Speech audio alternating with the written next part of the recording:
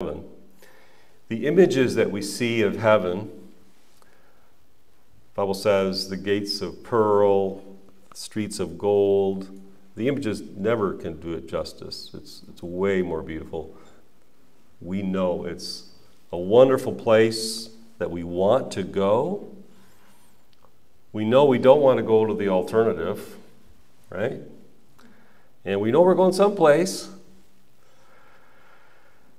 There's a famous paragraph that John Wesley put into the preface of his sermons. I want to read that to you today. He says, To candid, reasonable man, I am not afraid till I open what have been the most inmost thoughts of my heart. I've thought I am a creature of a day, passing through life as an arrow through the air. I'm a spirit come from God and returning to God just hovering over the great gulf, till a few moments hence I am no more seen. I drop into an unchangeable eternity. In light of that, I want to know one thing the way to heaven, how to land safe on that happy shore. That was, that was a, that's a smart desire, isn't it? God Himself has condescended to teach me the way. For this very end, He came from heaven. He hath written it down in a book. Oh, give me that book at any price. Give me the book of God. Then He says, I have it. I have it. He gave it to me. I have it, and now I can understand it. And I know now the way to heaven. So, what do we learn from Scripture about how to get to heaven? Jesus, of course, is predominant in the New Testament, predicted in the Old, and he's the one who said, I am the way, the truth, and the life. No one comes to the Father but through me. He's the same one who proved that he had the authority to make that statement by raising himself from the dead. This is what Jesus said, the one who says, I am the way. He said this. He said this to Nicodemus. Remember, Nicodemus came to him by night in secret, and he wanted to know basically how to get to heaven, how to enter into the kingdom of God. And, and Jesus told Nicodemus, Except a man be born again, he cannot see the kingdom of God. You must be born again. Now, John Wesley said the, that the marks of the new birth, of, of someone who has been born again, he said they are faith. First, faith. He says faith that's evidence in power over sin. So if you have no power over sin, that shows us, shows everyone, shows yourself that you don't have true saving faith. But the second mark is hope. This has to do with assurance of salvation, which comes through the witness of the Spirit. His Spirit bearing witness with our spirit that we are a child of God. And then, thirdly, John Wesley said, third mark of the new birth is love. Love for God, shown through obedience to his commands, and love for people, shown through, through good works. So, we need to be born again. These are the marks of the new birth. How do we become born again? Well, we have to become as a little child. It was the chapter after this where people were bringing children to Jesus and saying, Bless my children, pray for them. And the disciples said, Don't bother Jesus with this. But Jesus said, What? Suffer the little children to come unto me, for of such is the kingdom of heaven. In, ver- in chapter 18, the disciples had asked him, Who's the greatest in the kingdom of heaven? And to illustrate, Jesus set a child in their midst and said, Verily I say unto you, except you be converted and become as little children, you shall not enter into the kingdom of heaven. Whosoever therefore shall humble himself as this little child The same as the great is great in the kingdom of heaven. Now, what's a child like? What's a child like? Let's say a, um, a three or four year old. They're completely reliant on their parent for everything that they have. They're humble. They realize they, they can do nothing on their own, and they have faith. They just they trust. They trust their mom and their dad, their caregiver. Maybe too much, but they, they trust. And they are completely reliant. And what does God expect us to do? To humble ourselves before Him, to admit that we've sinned, to admit that we need forgiveness, to acknowledge the truth of this verse for all have sinned and come short of the glory of God. But a lot of people can't admit that they've done anything wrong. In fact, you ask your, your average person out there on the street, and Ray Comfort is, is famous for doing this. He has this, this good person test that he gives. He does these man on the street interviews and he asks people, So, do you consider yourself a good person? And I want us to, Anthony, I want you to help me here. We're going to um, uh, demonstrate a little bit this good person test and what someone who thinks that they're all right on their way to heaven, but they're not willing to accept forgiveness and go the way of the cross. What a typical response is. Maybe you could bring that over here and, and come a little closer. All right, so this is the, the good person test. There are four questions. WDJD. Okay? Are you ready? Okay, so, so Anthony's going to be my uh, unsaved friend. He thinks he's good enough to get to heaven, but he, he, but he hasn't trusted Christ for salvation, is not really following Jesus. All right, ready? Anthony. Yes. How you doing, man? I'm doing pretty good. Doing pretty good. I wanted to ask you a question. Sure. Would you consider yourself a good person? Oh yeah, one hundred percent. I mean, um, just last week I gave uh, this homeless guy a couple thing, a couple bucks, and I go to church about every two three weeks. So yeah, absolutely, yeah. Okay. Hundred percent. I go to charity every year. It's, Do you? Oh yeah, hundred percent. All right. Yeah. So you're a good person. All right. Well, do you keep the Ten Commandments? Um, yeah, I think so. Yeah, I think Well, so. have, have you ever told a lie? Yeah. What does that make you? Well, that's a liar. Have you ever stolen anything?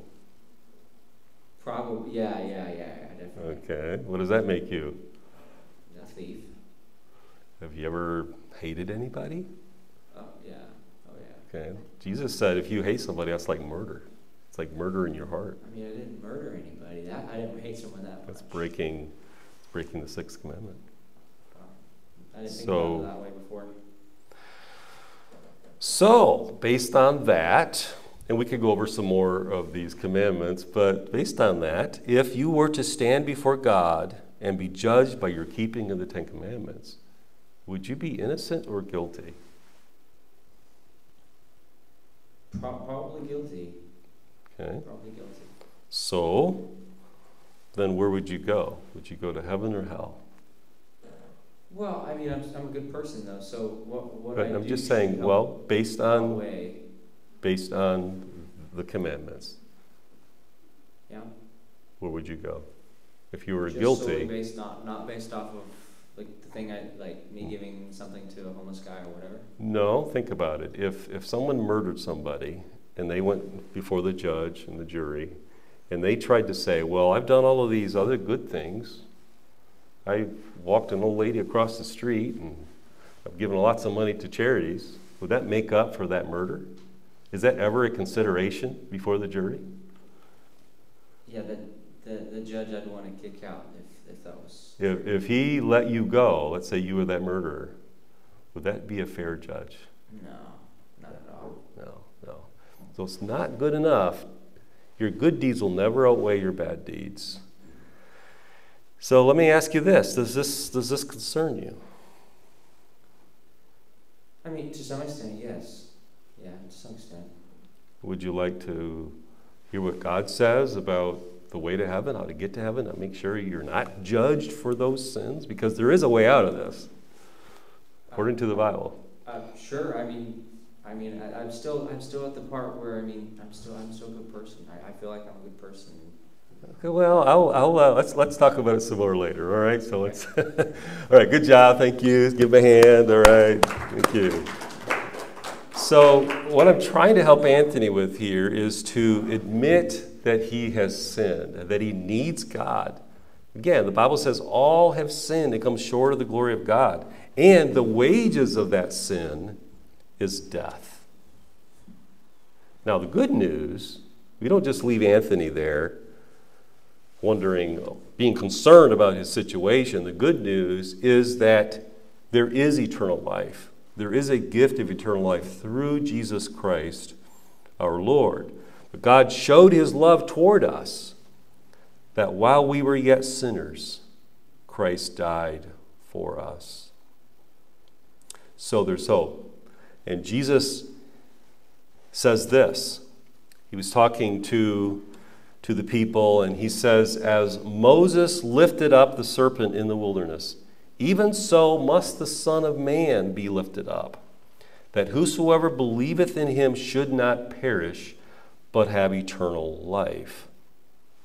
Now, this, uh, the story he is referring to, which is one of my favorite illustrations to show what, what Christ did for us and, and how we must respond, is the story of the Israelites wandering in the wilderness. They're complaining, they're griping, they're rebelling, they want to go back to Egypt. They, they don't think Moses is treating them right. They don't get the food they want, and so on. And so God sends serpents in their midst, poisonous snakes that bite them, and many of them die, and they, they get really scared and they, they repent. They ask Moses to forgive them and to go to God and find a solution. And so God tells Moses, lift up a serpent, a brass serpent on a pole, and tell the people that if they look at that serpent, they will live. That's what happened. They looked and they instantly were healed of their, of their uh, problem. And they lived. There's a, a uh, modern song that alludes to this story. Do you remember it? Look and live, my brother, live. Look to Jesus now and live. Tis recorded in his word. Hallelujah. It is only that you look and live. A couple of the verses Life is offered unto you. Hallelujah. Eternal life your soul shall have if you'll only look to Him. Look to Jesus, who alone can save. I will tell you how I came to Jesus when He made me whole. 'Twas believing on His name. Hallelujah. I trusted, and He saved my soul. So it's by looking to Jesus. Jesus used this as an illustration. He says, If you look to me, just as they looked at that serpent on that pole, you look to me, you put your trust in me, you will be saved. For God so loved the world that he gave his only begotten Son, that whosoever believeth in him should not perish, but have everlasting life. So, we cry out to him for salvation. And Romans 10 9 says, If you openly, openly declare that Jesus is Lord and believe in your heart that God raised him from the dead, you will be saved. For with the heart man believes unto righteousness, and with the mouth confession is made unto salvation. For whosoever shall call upon the name of the Lord shall be saved. Now, why am I telling you all of this? I'm telling you all of this because there are two groups of people probably here. One is those of you who know Christ, who are, who are born again, and you are commissioned to help people come into this relationship. So I'm, I'm telling you, kind of giving you an outline of how you could show somebody. There also may be somebody here that doesn't have assurance of salvation, doesn't know that they're born again, and this is the path. This is the way that God says you can get to heaven. So cry out to Jesus for salvation, admit that you've sinned, believing that Jesus died for you and rose again so that you can be forgiven, and be willing to turn away from anything you know is wrong. We confess our sins. We confess Christ, but we also confess our sins. Repent of our sins, turn to God, that your sins may be blotted out. And John says, if we confess our sins, he's faithful and just to forgive us our sins and to cleanse us from all unrighteousness. So this isn't an easy believism. We turn away from the sin that is damning us and we receive Christ. Do you remember what Jesus said in Revelation? He says, I stand at the door. He's talking about the door of our heart. He says, If anyone hears my voice and opens the door, I will come unto him, into him, and will sup with him, have fellowship with him, and he with me. And then John 1 But as many as received him, to them gave he the power to become the sons of God, even to them that believe in his name. It's as simple as A, B, C. I'm going to give you an A, I'm going to give you a B, I'm going to give you a C. Are you ready? Okay, to summarize everything that we just said, A, admit that you've sinned, that, you've that you deserve severe punishment and cannot save yourself, and be willing to turn away from your sin. B, believe that Jesus Christ, the sinless God man, died on the cross and rose from the dead so that you, this, is, this isn't just for everybody else, it's for you, that you can be forgiven and cleansed of your sin. And C, claim Christ as your Lord and Savior. Receive Him into your heart and life, trusting Him to save you. Choose to follow Him. And don't be ashamed to tell others that you know Christ. Here is a, um, a, sinner's prayer. I wrote this prayer. I wrote this out in the middle of the night. I've shared with you a sinner's prayer before. This is, this is worded a little differently. So let's, let's take a look at this. Pray this with me. If you don't know Jesus, pray this with me. Dear Jesus, you are God the Son, my Creator. And I come to you humbly as a little child, realizing that I've sinned against you and I need forgiveness. I know I cannot save myself, but I thank you that you died on the cross and rose again to provide the only way that I could be forgiven. I believe that you did this for me. I now turn away from my sin and I receive you into my heart. I accept your forgiveness and I'm determined to reject sin and follow you the rest of my life. And then, thank you for forgiving me. Thank you for making me your child, adopting me into your family. I claim you as my Lord and Savior. Because you promised to come into my heart when I invited you in, I am now a child of God. I am born again. Help me every day to rejoice in your mercy and goodness to me and to remain faithful to you. I'm going to serve you forever. Amen. Well, after you pray that prayer, what next? Tell somebody else that you've received Christ's forgiveness. Confess Jesus before men because then he will confess you before the Father. And then pray and read, listen to the Bible every single day, maybe all day long, asking God to guide each step that you take in your new Christian walk. All right. I want to say a little prayer, and then we're going to take communion to close out the service.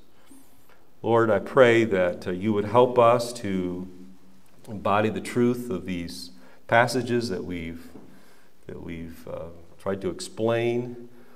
Lord, may every single one of us know you, truly have faith in you that, that enables us to have victory over sin, that gives us assurance of salvation and love for others.